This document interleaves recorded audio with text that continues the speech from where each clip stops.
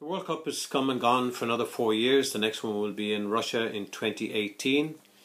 As far as the refereeing was concerned, there were ups and downs. Yes, uh, there were some good decisions, some bad decisions, but it has to be um, understood that the decisions this time uh, were probably amplified and scrutinised much, much more than ever before. So it's not always easy for the referees to get it right. They don't have the facilities of uh, slow motion action replays. You can read all about it. I've written a blog for kickshot.org. Have a look there, and I'd love to know your opinion. Bye bye. And thanks for reading my blogs.